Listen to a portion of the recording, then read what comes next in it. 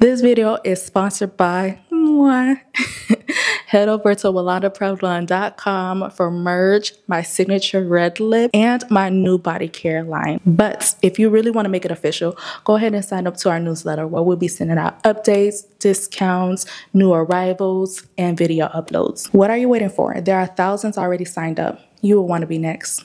Hey everybody, and welcome back to my channel. It's Wilonda.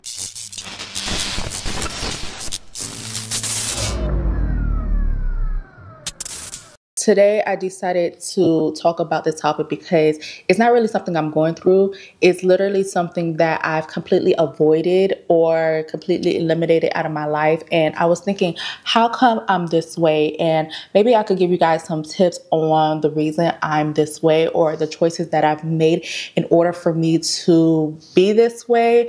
Of course, a lot of it is inherent, but a lot of it is experienced over time as well. So let's go ahead and get into how to get rid of decision fatigue. I see a lot of people, especially on the web, uh, but mainly a lot of people in my circle who really does not, who can't make a decision off rip they either go back and forth a lot of times. And it'd be the littlest things. It's not like okay this thing is costing so much money. Should i go ahead and purchase it? It's normally like oh i don't know whether to choose this color or this color. In my head i'm like yo just choose one, you know. But not everybody is like that. Not everybody could just see something and choose off rip. And I've seen certain patterns in my life that help me continue to be the way I am when it comes to making decisions, whether it's going to be a good decision or a bad decision, a mistake or a lesson. It doesn't matter. We still have to make decisions overall. So, in order to help me eliminate decision fatigue, where let me see.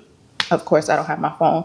Let me see if I can bring up the true definition of decision fatigue.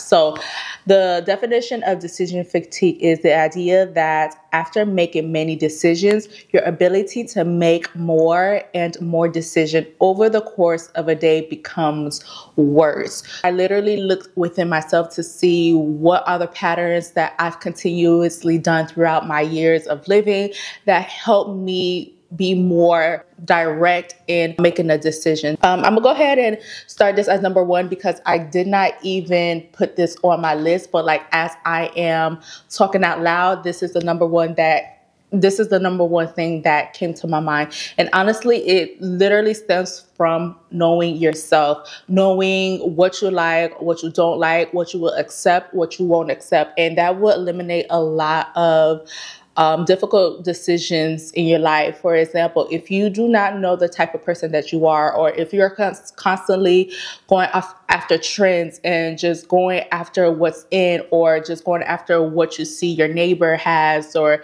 you know, your sister, whatever, whoever, then you will naturally know what you like. You will naturally know yourself, and you will be continuously taking things into your home, bringing people into your life who will make you really rethink your decisions. It will make you really think like, do I actually like this person? Or do I actually really like um, this item that I purchased? Or was it because of the hype? Or was it because of me not knowing myself? So I'm trying to figure it out. Yes, as we grow up and as we adult, we're going to figure out what we like and what we don't like. So I feel as though decision fatigue is not really I don't really associate it when you are younger. I really associate it when you are older and you have had the experience in your life and you know your foundation, but you still cannot make those little decisions in order for you to progress in life. That's why I really categorize decision fatigue. Now, when you're a kid and you don't know, and it's like, oh, I want pink ice cream or green ice cream type of deal.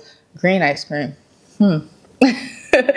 Y'all know what I mean. So that was number one, definitely knowing yourself as an adult. Next tip I have is categorize and subcategorize your choices. For example, when it comes to the purses, you have purses that are for work, you have purses that are for traveling, you have purses that are for um, dinner dates, you have purses that are for just, you know, going to the park make sure you're able to have the variety in your wardrobe or in your life or whatever. It has a function for everything. And I feel as though this has really helped me because everything is functional in my life. Like there's nothing that's really sit there and collect dust. So if I have three black purses, that every all three black purses has a different function. It's different in a way to where like I don't feel as though I have to pick these two or these five in between them for me to go somewhere. I already know if I gotta go out and run errands, I go gotta go to I don't know like the DMV or something. I know which purse to take because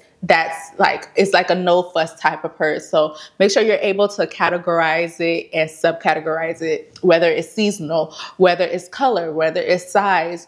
That will help you eliminate, first of all, a lot of repeats, which is my next step or next tip, but also el- eliminate a lot of heavy decision making. So, like I was saying, the next tip is to stop buying multiples of one thing. My next tip is a big one because we as females do this a lot. Once we see a, a lipstick that we like, we want it in almost all the shades. And especially when it comes to colors like nudes and reds, it's like, okay, this this red is not the same as this red, or this nude is not the same as this nude. It's a slight pinky undertone. It's just like this undertone. It's just like this shade. And we do this often, but all of that just does is create clutter in our home and it creates decision fatigue because we are just constantly, constantly surrounded by the same things but slightly different. And the slightly different doesn't necessarily mean like slightly better quality.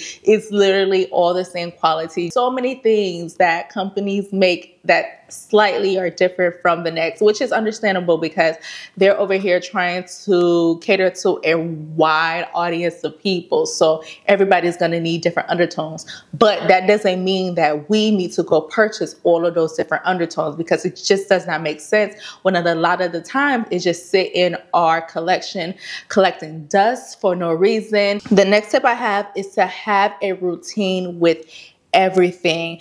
I tell you, once I started to really settle down here in my new home in Dubai and I had a routine going on, it really helped me make decision making so much better because I have a process and that process is normally always, you know, on par just that's because just of my lifestyle. But eliminating a lot of the variables in your life really really help you have a more smoother life like for me, I definitely eliminated a lot of home clothes that I wear. So it's not as though I have a lot of clothes that I'm going to try to shift through in my dresser in order for me to wear something at home. I know exactly what I'm going to wear. I know exactly what I can wear because it's very minimal. It's not a lot. Now, there is a big difference between minimalism and trying to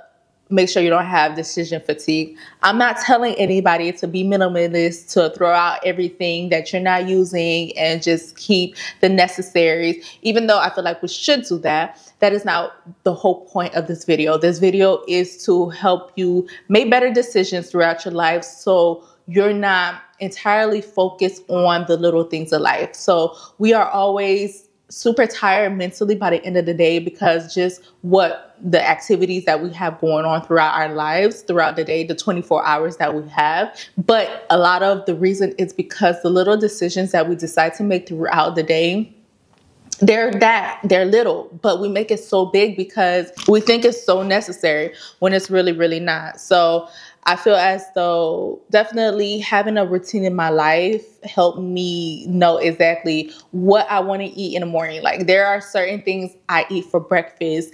Um, yes, I would throw in a new recipe here and there, but all in all, I know exactly what I'm going to eat because I have a routine for it. And that you know goes on into what i'm going to do after after breakfast whether i'm recording a video or whether i'm working on another business. Setting that routine definitely is helpful when it comes to making decisions throughout the day because it makes it more of a smooth transition. I touched on this a little bit in the last tip but making sure you declutter often. And i'm not saying throw away everything and just have one of everything. Absolutely not. I'm saying declutter in a way to help eliminate those decision fatigue.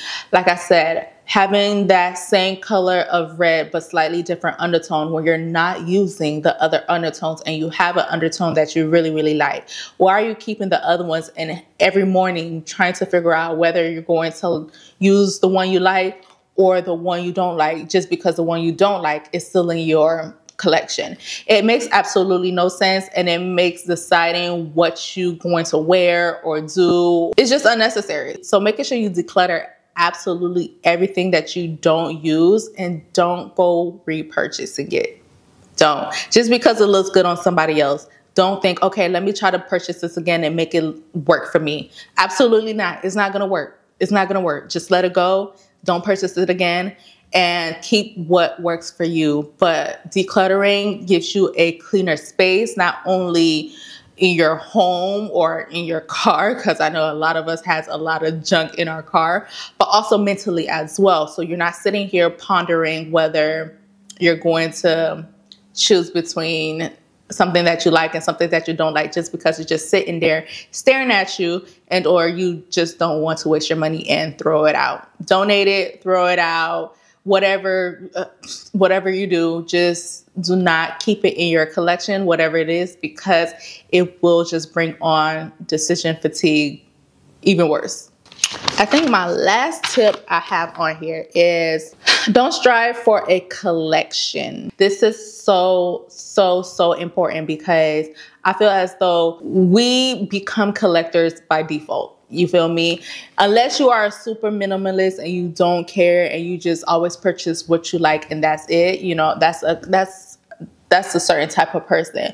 But I feel like there are for us females, we get into this cycle of completing. We have the two out of three trio. Three trio? Is it called three trio? I don't think you say three with trio. We have two out of the trio, yeah. In order for us to feel completed, sometimes we feel as though we have to go hunt and go search for that third one in order to complete our collection, or we feel unfulfilled, or there's a void if we don't go and get that third nude shade of shoes or so whatever it is or that scarf that that comes in a duo and we only have one like we tend to want to complete have a complete collection of everything. And if we do not refrain from trying to complete our collection we will always have decision fatigue because that is one extra item we got to choose between. So oh instead of having that one scarf that goes with this cute shirt that i wanted to wear I have two. Now I got to figure out which, but which of the two scarves are to go with this shirt. It's like, or which one I'm to wear that day with that shirt.